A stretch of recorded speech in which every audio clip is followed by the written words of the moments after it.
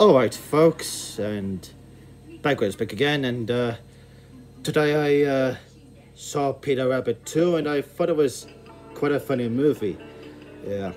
See, it all has Peter the, the rabbit uh, going into a little walk until he comes across uh, a rabbit named Barnabas or uh, whatever his name is.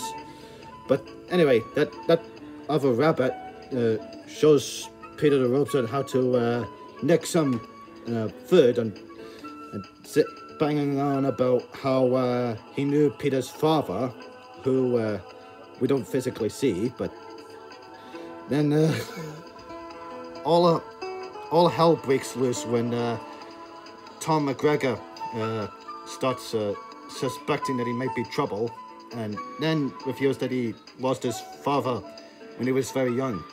Uh, it's not specified when or more precisely how, but that's uh, quite difficult losing your one of your parents. But yeah, in the end, uh, Peter and, and Tom make up, and you know, life is restored, and uh, the animals cause a lot of chaos uh, until the end. But yeah, especially the the deer, who is like uh, touch and sun and all that other rubbish.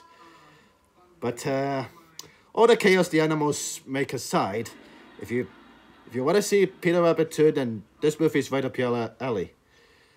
So uh, anyway, uh, with all that said, I better go.